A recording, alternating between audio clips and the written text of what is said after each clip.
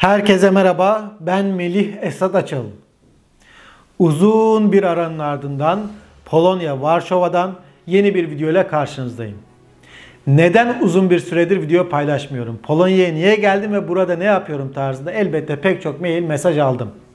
Bunları ayrı bir videoda detaylı şekilde sizlere aktaracağım. Çünkü bu videonun konusunun çok bölünmesini istemiyorum. Ancak son süreçte işin rengi biraz değişmeye başladı. Başıma bir şey geldiği noktasında paylaşımlar görmeye başladım ve e, pek çok insanda bunlara inanmış durumda. İşte çok tehdit edildiğim için video paylaşmayı bıraktığım noktasında paylaşımlar gördüm ve daha da absürdü. Gidişata göre pozisyon belirlemek için video paylaşmadım ki malum kesimden bunlar tabi paylaşılıyor. Bunları çokça görmeye başladım. Elbette bizi sadece YouTube'dan takip eden iyi niyetli abilerim, ablalarım, kardeşlerim de merak içerisinde olabilirler. Çünkü diğer mecralarda takip ediyor olursanız e, görebilirdiniz e, pek çok e, hususu. Bu süreçte yaşadıklarım az çok diyeyim. E, ben bu soru işaretlerini gidermek açısından şöyle kısa bir özet geçeyim. Detaylı bir videoda inşallah sizlere aktaracağım. Elbette bu süreçte çok şey yaşadım e, sevgili dostlar. E, hayatımla ilgili çok önemli gelişmeler oldu. Polonya'ya akademik eğitim açısından geldim. Önce bunu söyleyeyim. Ve benim tek YouTube kanalım da burası değil. Pek çok YouTube kanalı danışmanlık yapıyorum ve benim de pek çok YouTube kanalım var. Onlara da e, bazılarını biliyor olabilirsiniz. Oralara bakarsınız eskisinden çok daha fazla cayır cayır içerikler ürettiğimizi görebilirsiniz. Yani bu sürecin çokça farkındayım. Ve tek mücadele ettiğimiz alan da YouTube değil. Diğer işlerimi buradan aktarmıyorum biliyorsunuz zaten. Çünkü baltalamak isteyenler oluyor ama pek çok sayfayı kanalda e, idare etmeye çalışıyoruz. Öyle söyleyeyim. 3 noktalı bir şekilde. E, bunun dışında da e, buraya geleli 4 ay oldu. Diğer detayları da e, ayrı bir videoda sizlere inşallah aktaracağım. E, sizleri çok özledim. Samimiyetle söylüyorum. Çokça e, işte mesajlarınıza, maillerinize gerçekten çok duygulandığım yani yorumlar gördüm, mesajlar gördüm. Çok teşekkür ederim teveccühünüz için. Ama şu yani sevenler açısından söyleyeyim. Şu müjdeyi de verelim. Artık yine düzenli olarak devam edeceğiz inşallah. Onu söyleyeyim. Hadi bakalım kaldığımız yerden. Bismillah. Evet biliyorsunuz İsveç ve Finlandiya NATO'ya girmek istiyor. Türkiye ise kilit pozisyonda. Çünkü diğer NATO ülkeleri yeşil ışık yakmış durumda. Türkiye hayır deyince giremiyorlar. İşte diğer NATO ülkeleri niye yeşil ışık? İskandinav ülkeleri, ekonomi, refah, özgürlük, demokrasi vesaire diyor ama Türkiye gel bakalım diyor. Senin ambalajın böyle gözüküyor da senin altında ne var? Şöyle bir altını kaldırınca hani duvar kağıdını kaldırınca böcekler falan şudur budur. Seni biliyoruz. Yani altın kokuşmuş durumda. Biz daha önce neler yaptığını biliyoruz. Örgütün yuvası olmuşsun sen. Başta şunu söyleyeyim de işte bazı şeyler açık açık söylediğim zaman TR, öyle bilmem işte H, aynı bilmem ne. Bunları söylediğim zaman videolarımız geri plana atılabiliyor, engellenebiliyor. O yüzden e, bazı şeyler böyle içimde e, kalabiliyor. Bunu açıkça söyleyeyim ki çoğunlukla videonun ortasına doğru ben unutup her şeyi söylerim ama bunu da bilin. İşte özellikle İsveç örgütün yuva yaptığı, para aktardı o dağdaki dağ fistan dağ sıçanlarına para aktardı bir yer haline geldi. Sadece PKK'nın değil FETÖ'nün de aynı şekilde. Diğer Avrupa ülkelerinde de bunlar yapıyor ama İsveç özellikle bu noktada nam salmış. Yani polisin artık yol açtığı, e, rahat rahat çok çok daha rahat bir şey görünür şekilde yapıldığı bir ülke. Daha önce bununla ilgili de bu süreçten önce de ben aktarmıştım bu İsveç'in bu özelliğini. Ancak şu anda Türkiye'nin eline düşmüş durumda. Türkiye o zaman bu şartları yerine getireceksin kardeşim diyor. Öyle yok. E, eski Türkiye yok. Geleceksin bunları yapacak. Ha şunu diyenler olabiliyor. Ya yarın bir gün işte NATO'ya al alınabilir. İşte Erdoğan böyle diyor. Şöyle yaptığı oluyor. Bilmem ne oluyor. Ya bu devlet yönetiyorsun. Balans, denge var. Yani duygusal yaklaşamazsın böyle durumlarda. Ha, bu bunu açık açık söyleyeyim. Ama ben de bir gör gören, bu konuları takip eden bir kardeşiniz var. Açık açık bunlara güven olmaz. Bunlara güven olmaz.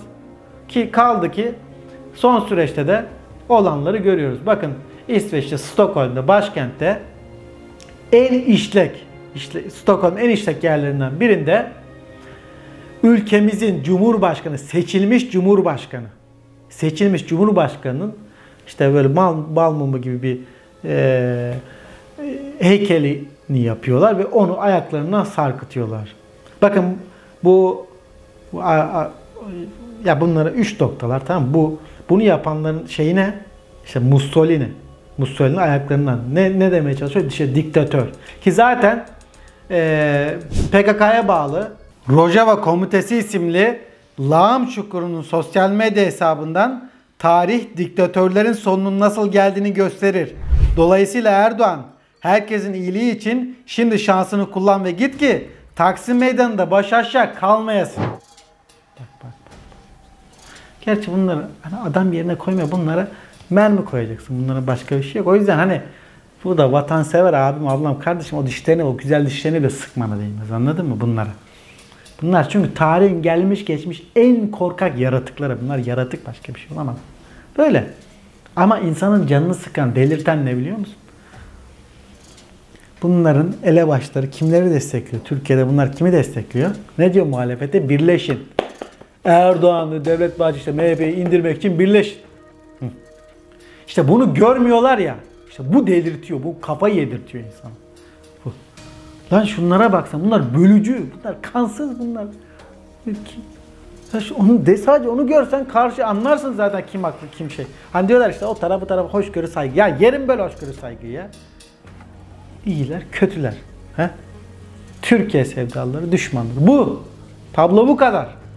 Anlatabiliyor muyum? Ha. Başta da İsveç aktardık ya. Hani bazıları şöyle şeyler gördüm. İşte İsveç nereden görsün ya ben İsveç'e şey yapmayın olaylar bozulmasın. Tam bu pankart değil ki hani bir yerine sokup da çıkarsın bilmem ne yapsın. Bunların çünkü geniş bunların pek çok deliye sokar eder ama bu değil ki. Koskoca adam yapmış, uğraşmıştır o şeyi yapacak. Hani hayal dünyaları bunlar böyle şey kurarlar ancak bunlar. Çünkü korkak ki diyorum ya. Çıkan ama orada en Stockholm en kalabalık şeyine caddesine sokmuşlar. Efendim o uğraşmışlar, bağlamışlar, etmişler. Yapabilecekleri bunlar çünkü rüyalarında bile bunu. O. Ülkemizin cumhuriyeti diktatör. Heh, birileri de diyor ya diktatör muhalefetten bilmem ne. Aynı aynı söylem bunlarla. Türkiye'nin Türkiye'nin seçilmiş cumhurbaşkanı bunu söylüyorlar. Niye özellikle vurguluyor seçilmiş cumhurbaşkanı? Niye? Hepimizin cumhurbaşkanı. Sen artık seçsen de seçmesen de bu durumda taraf tutma diye bir şey bu abi şey konuşturmayın da bu bu artık bu kansızlığın bu ortaklığına girer. Bunu çok net söylüyorum. Bak çok açık. Bu kadar. Buna karşı duramıyorsan bu. Çünkü bu artık devletin makamı. Devletin makamı. Sev, sevme, eleştir. Dibine kadar eleştir. Dibine kadar onundan bundan ayakkabısı takar. Her şeyi eleştir. Tamam. Ama bu farklı bir durum. Heh, bu farklı bir durum. Şimdi böyle güzel bir paylaşımla tamam mı? Aktarayım. Ondan sonra yine maalesef birazcık sinirlerimi toplayacak. Bakın. Oğuzhan Uğur. Son günden en çok konuşulan isimlerinden. Dünya görüşler. O hani pek çok konuda ayrışırız. Babası da Atilla Uğur. Emekli işte yani albay. Efendim. Önemli görev. Onunla da önemli görevler yapmış ama dünya görüşü pek çok konuda ayrışırız. Onu da çok açık net bir şekilde söyleyeyim. Ha buradan şu çıkmaz. Şimdi gönderi alkışlayacağım, paylaşacağım da. Ha, hani yaptığı programlarla bir sürü alkışlar alıyor vesaire. Ha, ben açıkça şunu söyleyeyim. Hani öyle işte herkes çıksın, konuşsun, etsin vesaire diye e, ayrıca çok uzun konuşmak gerektiği için gerçekten söylüyorum. Çok kısa geçeceğim. Mesela en son tipli, tip genel başkan yardımcısı Barış Atay, Türkiye İşçi Partisi'nden işte sosyalist sol bir isim çıktı oraya. Bayağı propagandasını yaptı. E, ki bu Oğuzhan Uğur da hani öyle bazı kelime işte Kürdistan'a bilmem öyle hani işte bazı sözüm ona milliyetçilik vesaire bunlar söyleniyor ya işte lafta bir sürü şey.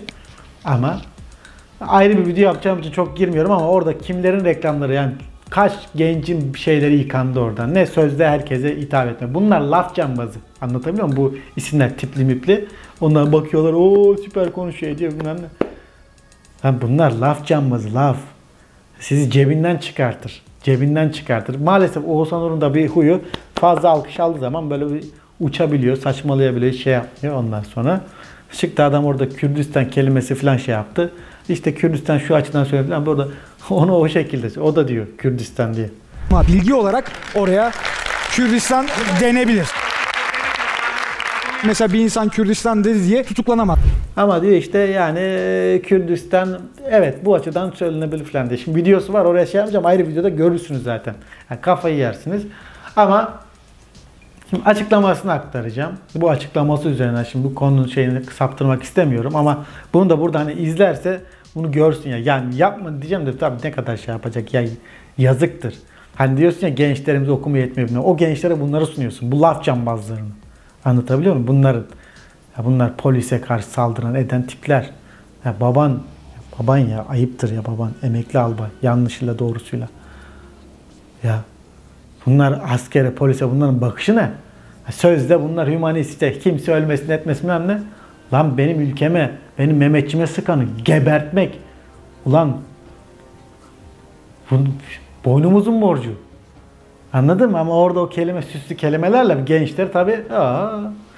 Neyse ama bak burada hakkaniyetli olacağız. Biz bu kendisiyle takipleşiyoruz dedim ama açık açık fikrimi söylüyorum buradan. Hakkaniyetli olacağız. Burada da helal olsun. Adam gibi bir paylaşım yapmış. Demiş ki elin haini ülkemin cumhurbaşkanına bu terbiyesizliği yapacak. Biz de susacağız öyle mi? Sizin tarafınıza başlarım. Hiç. Helal olsun. Bu işte muhalif. Muhalif. Ha, bazen şey takılmaya çalışıyor işte ben her kesim bilmem ne her taraftan. Bak helal olsun. Ne olursun. Bu. Ha burada o bu şu bu, arada deri de hiç tek direkt birleşeceksin. Bu. Çok normal. Bak bu, bu kadar ya. Ha. Tamam normal değil mi? Bakın bak, alkışlıyorum. Buna bile gerek yok. Bunu buna bile gerek yok. Normal. Ülkemizin Cumhurbaşkanı. Ama altta gelen yorumlar Bak bir sürü esas almıştım. Hiç ok şey yapmayacağım bile gerçekten. Bir sürü almıştım hani görün edin diye. Çok net. Genel ağırlıkta çıkan şey şu. Bir. İşte tiyatro kokusu seziyorum. Ben buraya şimdi koyarım bir sürüsünü. Tiyatro kokusu seziyorum. E işte bu sarayın oyunu bilmem ne. Ulan İsveç'in makamlarından kaç tane açıklama geldi. Rojava kendi söylüyor biz örgütlerde biz yaptık ettik bilmem ne diye. Hayla diyor ya İsveç özür üstüne özür. Niye? NATO korkusu Rusya'dan korkularına 3,5 atıyorlar. Ama hayla yazıklar olsun böyle kaç yüz yorum, kaç yüz işte onlar yapmıştır bile seçimden önce falan. Allah'ım kafayı yersin ya. Bunlara bak profilleri Atatürkler bilmem ne havada uçuşuyor bayraklar şunlar bunlar. Ha, hesaplara girince tabii kimleri RT işte Millet İttifakı şu bu anlıyorsun da elendi. Bir diğer taraftan daha da bazı üç noktalı işte e, hayaller bilmem ne ne demek istediğini biliyoruz biz onları. Ne demek istediğini. Ha bunlar demokrasi, bunlar özgür, bunlar her şey. Çağdaş bilmem bunlar. Ya. Böyle böyle bu tiplerle bir şey yapıyoruz. e, mücadele ediyoruz. Üzerine bu video uzun uzun üzerine şey yapmayacağım. Abi görün. Buraya koyuyorum hepsini böyle tek tek. Yani hepsini koyamam da böyle bir sürü var. Ah, ah, ah, ah, ah. Ne hale getirdiler gençliğimiz, ne hale. Hani sonra da şöyle diyorlar ya, o zaman işte ben böyle fıttırıyorum. Diyorlar ya işte hala mı destek, şu mu bilmem. Lan oğlum hala mı? Sen kendine bak hala mı? Kafayı yemişsiniz lan. Kafayı tırlatmışsınız siz. Hala mı hala mı hala mı? Kendinize bir dünya kurmuşsunuz. Anladın mı? Şu şöyle bu böyle. Ondan sonra hala mı? Lan size hala mı hala lan? Hala mı bu kafasızlık lan? Ha? Yazık. Ha bir diğer taraftan bak yine şey yapalım şöyle bir atalım bunlara karşı var ya. Bu görmeyenlere karşı anladım. Hani vatan millet deyip de diğerleri dedim ya bu kansızlar bu korkaklara karşı bak ne kadar sakin mi kurdum. Ama böyle vatan millet deyip bu kadar böyle kafaya böyle nöron bağları birbirine bağlanmayan tipler var ya. Ya Atatürkçü şu olsun ulusalcı buluş. Bak hiç farklı şu. Ya sonuçta vatan vatan birleşiyorsun ya bir yerde. Lan en azından bir doğruyu gör. Vatan diyorsun ya. Bunların amacı ne? Ama bak şurada bir güzel daha bir paylaşım daha. Şarkıcı Berkay. Bak o da muhalif bir isim. Ne demiş? Şimdi bazı konular vardır. Her tarafın daha taraf olması gerektiği anlar. Şimdi gibi. Elin haini alacak namusu. Kalkıp ülkemin cumhurbaşkanına bu terbiyesizliği yapacak. Başka düşünceye sahip herkes susacak öyle mi? Ki ben de farklı düşüncelere sahip biriyim. Bence bu daha büyük bir alçaklık. Bu bayrak önemli. Toprağımızın her bir avucu bir ömre bedeldir. Bu ülkenin hizmeti için verilen her görev, her makam kutsaldır. İster bir memur, ister bir bakan, ister bir cumhurbaşkanı. Küçümsenemez, küçültülmeye çalışılamaz. Bitti. Sayın Cumhurbaşkanımıza yapılan bu hakareti kınıyorum. Bunlar çok zor değil ya. Bari bu konularda. Yani diyor abi bak Berkay da diyor bak. Muhalif adam olabilir. Beğenmiyordur, etmiyordur, şudur budur. Ha? Olabilir. Farklı görüşten bilmem ne. Ya ama bu konular diyorum benim hani burada bazen bunları böyle açık şey yapınca işte devlet, vatan, millet Efendim Mehmetçik polis hani diyor hemen şu tarafsın bu tarafsın. Zaten buradan bahsede görmek lazım. Ben birçok videomda mesela açık açık şudur budur demiyorum. Ama mesela Mehmetçik diyorum, polis diyorum, canım diyorum, kanım diyorum. Oradan da ama bu tarafsın diyor. Lan işte gör kim ne, kim ne tarafta oradan anla o zaman yani anladın mı? Bak bu da bak helal olsun alkış. Arkadaş ortak kaygı diye bir şey var ya. He? Bunu, bunu kaybet işte bu çok önemli. Bunu kaybet bunu kaybettiğimiz zaman sıkıntı. Çok büyük sıkıntı. Bu kadar. Bunlar zor değil. Bunu yapınca bir şeyinden kaybetmiyor. Muhaliften muhalif. Ama diğer türlü biz muhalif demiyor işte. Adam ne diyor? Zillet diyor artık millilikte kalmamış. Yerli milli değil işte. Bu yüzden söyleniyor bunlar. Ya? Evet şimdi devlet etkilerinden şu şunu aktardı, bu bunu aktardı böyle hepsini buraya sıralamayacağım. Zaten görmüşsünüzdür. Ama yani şunu söyleyeyim en azından. İsveç'te 3,5 katlı başbakanı kınıyoruz, ediyoruz işte bu kadar tabii tepki de yani bizim ülkemizde de tabii eyvallah bu tipler var. Bu moron tipler hani az önce dediğim gibi. Ondan sonra bu beyni şey yapmış ama Allah'a şükür anlatabiliyor muyum? Devlet, vatan, millet diyen yüreği bir çarpan büyük de bir kesim var. Bunları görünce o Rusya korkusu 3,5 atma vesaire hepsinden kınamalar başbakanından, bakanından, şundan, bunundan. Zaten Cumhurbaşkanımız da gerekli açıklama yapmış ki e, İsveç'in yakında meclis başkanı gelecekti. Reddetmişler kış kış. Cumhurbaşkanımız da zaten gereğini söylemiş. Bunların caddelerinde, Stockholm'de sık sık zaten PKK'nın gösterilerini izliyoruz. Ve kendilerini de uyarıyoruz. Ama bütün bu uyarılara rağmen ne yazık ki PKK'nın, PYD'nin bu gösterilerde durdurulması filan falan diye bir şey söz konusu olmadı. Tabii şu anda meclis başkanlarının bize bir ziyareti söz konusuydu. Meclis başkanımız da bu ziyareti reddetti. Çünkü bunlar hala Türkiye'yi eski Türkiye zannediyorlar. Ve şu an itibariyle de bu ziyaret gerçekleşmeyeceği gibi onların İsveç'te bu duruma karşı eğer bir el koymazlarsa İsveç'le münasebetlerimizi çok daha gerebilir. Evet özellikle bunu vurgulamak istedim. Bu konularda birleşmezsek hani ne zaman birleşeceğiz? Yani şunu da söyleyeyim bak. Oğuzhan Uğur'un o paylaşımında da yani çok yüksek sayıda beğeni vesaire vardı. Bunlar tabii görünce bile çünkü artık o kadar böyle e, CHP'nin vesaire gayrimilli tutumları, muhalefetin vesaire şey yaptık ki efendim bunları görünce seviniyoruz. Tabii yüksek bir beğeni sayısı falan vardı ama alttaki yorumlara bakınca hani e, dediğim gibi burada okuyunca şey yapacağım ama koymaya çalışacağım. Aslında tek tek yorumlamak lazım. Çünkü gerçekten psikolojik vaka gibiler bunlar. Yani Oğuzhan Uğur hemen AK Partili bilmem ne yaptılar. Alakası yok ya. Neleri çıkartıyor kanal. Ele, onları eleştiriyordu. Kaç kere de eleştirdik. Ama helal olsun. Niye helal olsun diyorum? Çünkü o da biliyor. O kitlenin nasıl olduğunu bilmiyor mu sanıyorsun? O da biliyor. Çünkü karşısında bu çabuk inanan bir şey var. Hemen bunu söyledi diye hemen o taraf bu taraf vesaire. Bir diğer taraftan karşımızdakilerin emellerini görün. Allah aşkına. Yani karşımızdakilerin emellerini görün. Bunlar böyle kansız. Ellerine fırsat geçse fırsat gelir. Ama burada Oğuzhan Uğur özellikle dikkatini çekmek istiyorum. Niye dikkatini çekmek istiyorum? Çıkardı o TKP'den oradan bu HDP'den falan çıkartıyor da ne yapacak orada? Kelime cambazlığı yapacak biraz daha oy toplamak için. Bunlara da fırsat ver, verilmemesi gerekiyor. Yani bana bazen şu deniyor işte. Ya işte herkes konuşsun. Ya herkes konuşsun etsin de bak şöyle bir örnek vereceğim. Belki daha iyi anlarsınız. Yani ya özellikle genç kardeşim çocuğun olsa tamam mı? Yani 10 yaşında 12 yaşında çocuğun olsa her kitap kitap okusun kitap. Kitap okumak güzeldir. Ama verip Marksizmin kitabını işte ne bileyim bir bilmediğim bir kitabı verip o fikirler daha oluşma oturmamış. E böyle bir sürü de kitle var. Onu da izleyen bir sürü o da biliyor. Ya bak ben burada bile her şeyi çıkar, her benim elim kolum uzun bizim de uzun bir sürü kişiye şey yapabiliriz. Kanalda bir sürü abone gel. O kitleden de alayım, bu kitleden de alayım. Anlatabiliyor muyum? Böyle yaklaşıp da oradan da biraz kitle alayım, buradan da alayım. Ya değerler ne olacak? Biz bilmiyor muyuz çıkarmayı? Çıkar. Ama benim burada izleyen 14-15 yaşında pek de bunları okumayan, bilmeyen kardeşim orada iki laf cambazlığı yapsa bizim üstümüzden de yapabilir. Ya ben bak işte şey çıktı oradan Barış Atay. Adam Gayet laf cambazlığıyla bir sürü kişi şi- partisinde de açıklama yapmışlar işte. O binlerce telefon geliyor, yeni üyeler, kayıtlar vesaire. O çocukların beyni yıkanacak. Yani bu, bu vebal değil midir? Soruyorum. Buradan dikkatini çekmek istiyorum yani. Ya eline geçse senin babacığın eline geçse ne olacak bunların eline geçse? Sen ne sanıyorsun o laflarla bilmem ne? Allah aşkına. Senin senin için de bak senin hakkın açısından da konuşuyorum burada. Ama hareket işte hakkaniyetli olmayacak. Bak oradan tebrik, buradan bilmem. Bunu göreceğiz. Kalkıp hemen öyle çöpe atmak veya kalkıp işte hemen göklere çıkmak yok. Bak bu kanalda bu kitleyi güzel oluşturduğumuza inanıyorum. Ha bizim bir de tabii yaş ortalamamız yüksek.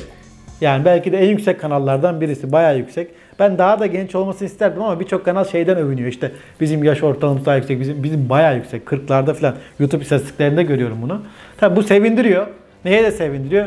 Pek çok hayat tecrübesi açısından bizden e, büyük abilerim, ablalarım da e, bu kardeşin görüşlerine önem veriyor. Bu sevindirici ama daha çok gençlere de ulaşmamız için özellikle etrafınızda diyorum ya e, çocuklarınız varsa efendim arkadaşları işte şeyleri bunları bir yayalım. Özellikle genç kardeşlerimize abone edelim ki diğer videolarımızdan da haberdar olsunlar. Hız kesmeden devam edeceğiz. Bunu söyleyeyim. Hani öten altı da yine aylarca yok diye bir Allah'ın izniyle olmayacak. Tabi akademik çalışmalarımız oluyor. O yüzden e, arada aksaklar olur ama elimden geldiğince paylaşacağım. Merak edenler özellikle Instagram'dan takip etsinler. Oradan mesajlara cevap vermeye çalışıyorum. Orada daha aktif, tabii daha kolay video, YouTube videosu yapmak daha uzun sürüyor. En azından soru cevap vesaire yapabiliyoruz. Bunu söyleyeyim.